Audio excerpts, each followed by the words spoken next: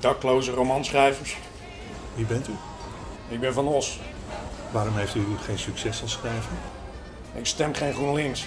Oh, dan bent u de man die ik nodig heb. Gaat u zitten. Bent u bekend in Spanje? Maarten Spanjer, de bekende sportverslaggever. Ik bedoel het land Spanje. Ik heb erover vernomen. Ik heb een taak in Spanje. Ik ben ambassadeur van een stichting die in eh, La Linea tegenover Gibraltar een hondenasiel beheert waar het niet zo goed mee gaat. En wat heb ik ermee te maken? Bent u bekend met Portugal? Hugo Sanchez, Portugal, de bekende Mexicaanse sportverslaggever. Nee, nee. Het land Portugal. Ik heb erover vernomen. Daar woont mijn ex, Arthur van Ameron. Oh god, nee toch? Jazeker, u gaat met hem een hond ophalen. Uit Spanje. Oh god, oh nee, oh nee, nee, niet van Amerongen. Die heeft daar gekregen voor zijn verjaardag. Hond uit het asiel halen. En hij heeft geen rijbewijs. Luister, ik wil niks met die junk te maken hebben. Ik heb die vent één keer geïnterviewd en ik word nog steeds badend in het zweet wakker. Dat is dan afgesproken. En nu wegwezen naar Portugal, want over een kwartier spreek ik Spaan. U bedoelt Spaans. Nee, nee, nee. Henk Spaan, de bekende sportverslaggever.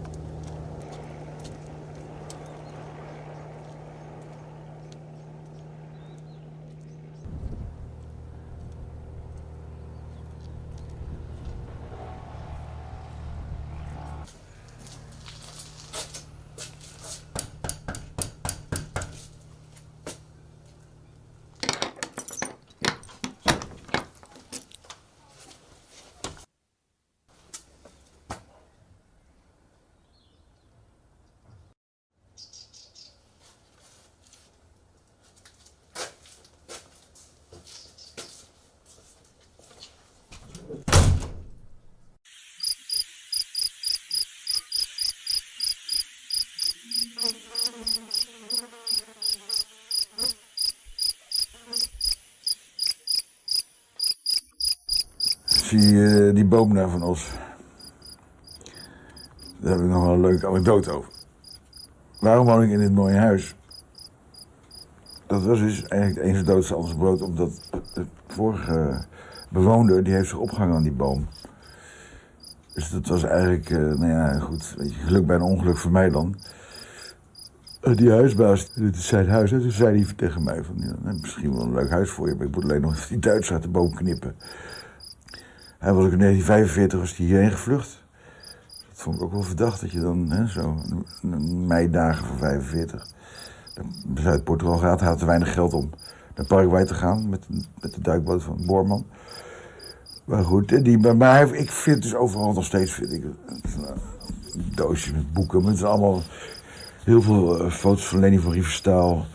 Hij had ook eh, toch een heel interessant boek over ras, de rassenleer.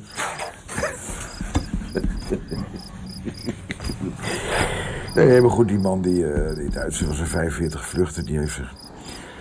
Ja, dan misschien toch wel wat, eh, wat juwelen meegenomen uit het eh, kamp. Ja, goed, op een was het toch... ja, heeft het toch maar opgehangen. Dus dat...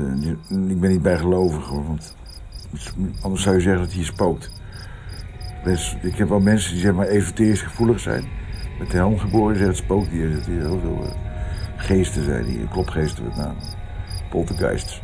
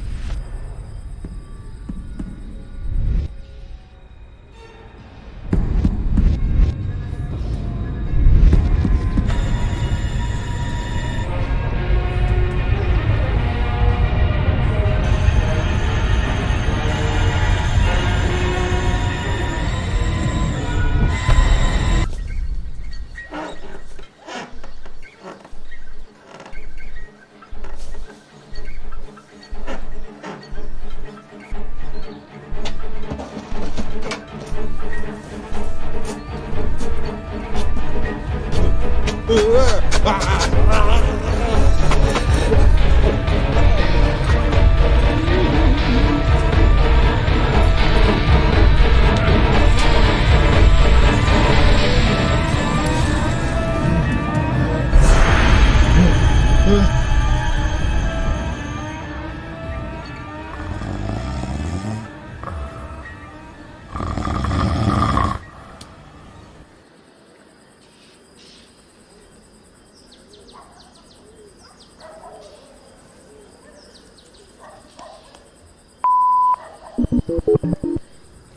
Hallo, met Van Os.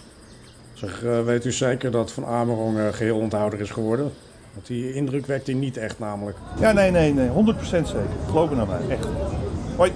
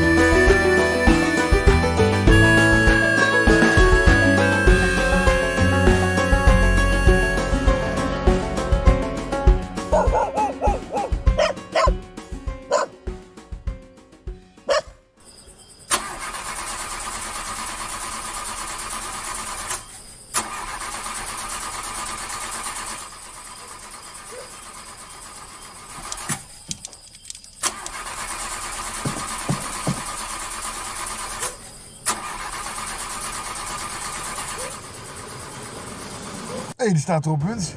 Godverdomme. Stop eens.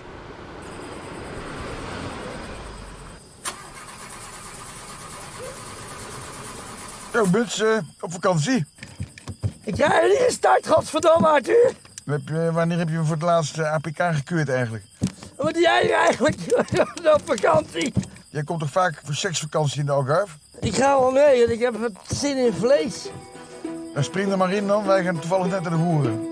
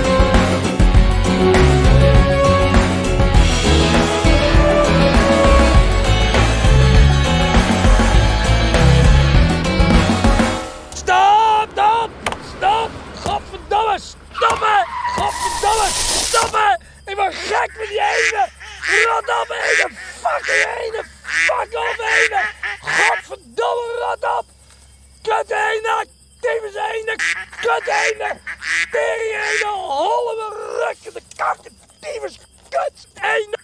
Ik wil niet meer.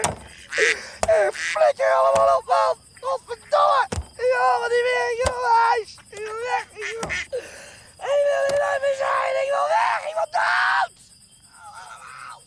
Rot op ene. Rot op.